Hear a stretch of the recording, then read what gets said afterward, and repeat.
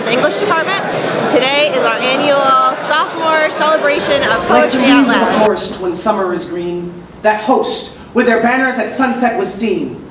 Like the leaves of the forest when autumn hath blown, that host on the morrow lay withered and In the fell clutch of circumstance, I have not winced nor cried aloud.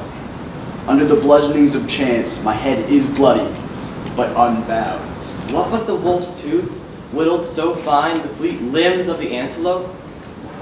What but the fear, winged the birds, and hunger jeweled with such eyes, the great goshawk's head? And your winner of Poetry Out Loud 2012 is Michael